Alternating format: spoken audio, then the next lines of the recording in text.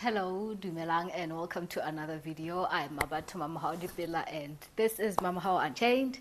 Today we are talking about scatter cushions. So now let's talk about this 3,000 Rand scatter cushions. So last week in my H&M uh, video, where I shared with you my favorite decor finds from H&M, I also asked you guys what is it that you would like me to share with you or to shop, uh, any stores that you would like me to shop for you. So one of you guys gave me um, a comment that said, uh, uh, please do a video on scatter cushions. Do you get them custom made? Also, price range is huge from 200 Rand to 3000. Are the top ones worth it? Thank you in advance, Maroon. So, we are going to talk about scatter cushions. Um, after I saw that comment, I went uh, shopping online to see if I could find a scatter cushion with 3,000 rand. And lo and behold, I found one. At home has a scatter cushion for 3,000 rand. This is what the scatter cushion looks like. I'm not going to tell you whether it's worth it or not worth it, but I'm going to tell you what makes the scatter cushions cost as much as they do. Like she mentioned in the comments, the price range for scatter cushions goes from as little as 200 rand to as much as 3,000 rand. So for me, I do a little bit of both. She also asked, do I make my own? Do I buy them? In most cases, I tend to buy scatter cushions. But uh, because I'm somebody that always has an eye for, you know, new things that are coming up and all of that, so I'm always looking at different stores, what they have in terms of the scatter cushions collections and all of that. So, um, I love scatter cushions. I mean, a room without scatter cushions to me just feels naked. So you need a little bit of that extra texture, extra color, extra pattern, and scatter cushions are perfect for that. So, um, funny enough, when I saw that comment, I said to her, I have a video coming up uh, next week on scatter cushions because I was planning to do my own video on scatter cushions, and that comment just literally just fell into place when uh, I saw it when it comes to scatter cushions, there are different factors that affect uh, the price range. Number one, it will always be the brand. What brand are you buying from? In as much as we might like to say scatter cushions are cheap or expensive, when you go to a particular store and you find a price for scatter cushions, you are basically buying either the name brand or you are buying the quality or exclusivity. That is basically what it boils down to. For me, it depends on the space where I want to use the scatter cushions, and it also depends on the look that I'm going for. If I feel like I cannot find what I want in the stores, I will go and make my own. So, um, every store has different ranges when it comes to scatter cushions. I will start with Mr. Price. Mr. Price has scatter cushions for like 150, and I think the most I've seen at Mr. Price was uh, 500. Yeah is 500. So all these stores, what they do is now they use uh, designer fabrics in order to have their um, what you call the premium collection. Mr. Price now has a premium collections where they use UNG fabrics. UNG is a studio where they design their own fabric collections. Every year they come up with different collections, uh, different looks and different types of fabrics. So Mr. Price uses UNG fabrics. When you go to Let's go to Cielo. Cielo uses Hertex fabrics. If you go to Loads of Living, they also use Hertex fabrics. So um, these fabrics are one of a kind. They are not mass produced. So obviously, because they are not mass produced, it will also uh, make an impact on the price that they will charge you for uh, the fabrics. So when you look at Mr. Price premium range, it retails for about 500 rand uh, per cushion, and when you take into account the fact that you also get um, a feather filled inner, then uh, it also makes sense why then uh, a designer fabric plus a feather filled cushion would retail for 500 and then when you go to your stores like um, Loads of Living and um, Cielo, their cushions are standard, come with uh, feather filled inners, but they retail from somewhere between your 700 to 1,000 and 1,200 per cushion. And um, they also depend on uh, the type of fabrics that they use. So with uh, Hertex fabrics and any other fabric um, house that uh, exists, they have what you call um, single-use fabrics and dual-use fabrics. So your single-use fabrics will be fabrics that are solely for making curtains and uh, cushions, those type of things. But your dual-use fabrics are fabrics that they use for upholsteries and can also use for making cushions. So those type of cushions will cost you more because upholstery fabric is expensive. And also when you look at the width of your fabric, it's shorter than um, most materials when you buy for making clothes and those type of things. And when you look at your fabric swatches, let me see if I've got one in here. I wanted to get the designer look at half a cost. So I went to Hertex and got myself some samples of fabrics. So when you look at a fa fabric uh, swatch, example, so it gives you um, the rub count, it, it, tells you what the fabric is used for and those type of things. These things also have an impact on the price. And also the fact that uh, the fabric is embroidered will also mean the price is higher. So this fabric retails for about 1,560 a meter. When you look at the cushions that they have in store made with these fabrics, they retail for about 1,200 per cushion. So now, here's where the trick comes in when they make these cushions um, with this fabric, in most cases, what they will do is they will have this fabric only on the front of the cushion.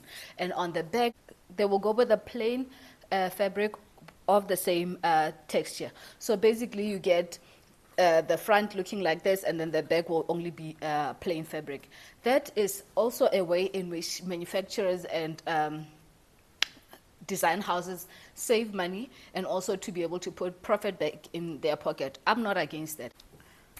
How can you get designer scatter cushions at half of the price or at a less cost? So I went on the hunt for beautiful fabrics and I went to Hertex and got a couple of uh, fabric swatches and um, ended up buying my own fabrics. So um, when it comes to design houses, most of them don't sell directly to the public. You either have to be affiliated with them or you have to buy through one of uh, the companies that are affiliated with him.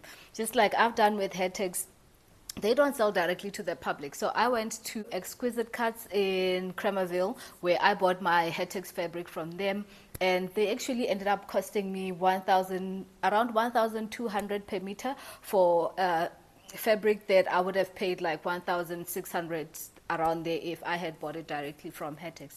So, so for a meter of this fabric, I'm going to get myself two 60 by 60 cushions at the price of basically one cushion that you may get in the store. And mine will have this fabric on both sides. It will not have uh, the plain fabric on the back. So if I wanted to make more of this type of cushion, I could actually get four cushions and um, get only the plain fabric, which I don't even have to use a Hertex fabric. I could go to Chamdo, get myself a cheaper fabric, uh, which matches this, and use this for the backing, which would cost me probably less than 100 rand per meter, and uh, I could get four cushions out of this. So that is how they make money. I'm not against that, but this is why you need to understand why um, things cost what they cost. At the end of the day, they need to factor in the labor and cost, the transportation, the running of the business, those type of things have an impact as to how much they charge you for the cushions. So I got myself a couple of fabrics because I love pattern, I love color, and I get bored with all the plain fabrics that are in the stores. So I got this fabric that I showed you the swatch of. So this is the uh, beige and cream version. So this is the rust colored version. And this also is from Hertex. It was around 1,560 per meter, as I told you. And I also got this because I have uh, navy blue uh, cushions that I used in my bedroom for a while, but for uh, but I never had um, anything with a little bit of blue and a different color in order to complement them. Now, let's go back to the 3,000 cushion. So this 3,000 cushion that uh, I found online was from um, was from At Home. So the fabric is from uh, Designers Guild. Designers Guild has uh, fabric collections with different design houses like your Ralph Lauren and those type of designers. So obviously, if you're going to buy a fabric from Ralph Lauren, you know that you're going to get uh, charged more. Not because it's special or those type of things, but it's because of the brand that it is. So if you're buying a cushion made from Designers Guild fabric, it's you you are buying the brand. So for most people they don't understand why that cushion costs three thousand because they don't understand the name behind Designers Guild um, and the type of um, collaborations that they do with different design houses. So uh, that cushion um, comes with it, it's feather filled. It's uh, a designer fabric, which means it's an exclusive type of cushion. It's not something that is mass produced. Even if you go to the at-home stores, you will see that not all the stores has it. You can find it online and um, you can find it at some of the stores, but you will not find it in all of the stores because at the end of the day, they know that it's for a select few. Not everybody is going to buy a 3,000 rand cushion that they're going to have on the couch with uh, their kids jumping all over it. For me, I don't mind buying expensive uh, cushions. Um, I mean, um, in my bedroom refresh the other day, I showed you these cushions, but I didn't show you how much they were. These cushions I got from Cielo, and one of these cushions is a thousand rand. I've been buying cushions that are around that price because I love my cushions because I rotate them around the house. I will take one from this bedroom, put it in that bedroom, and change up the looks as often as I want.